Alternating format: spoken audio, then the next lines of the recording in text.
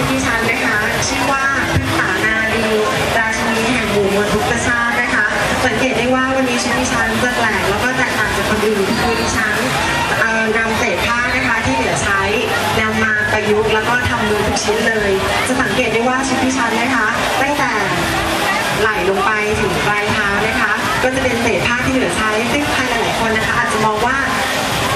แยกชิ้นกันอะ มันก็จะเป็นขยะ แต่สำหรับดิฉันดิฉันว่าขยะเหล่านี้มีประโยชน์แล้วก็มีคุณค่า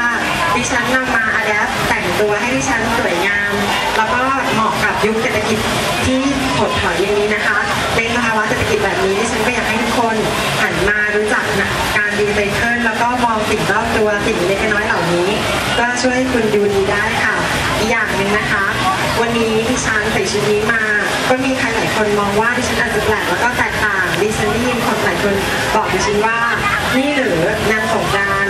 ค่ะนี่ราคานางสงการนางสงการยุคใหม่นะคะ ต้องมีสมองความคิด แล้วก็มีปฏิในการสรรสร้างความงามให้โลกของเรานะคะยืนอยู่คู่กับสังคมไทยอย่างนี้ตลอดไปขอบคุณค่ะ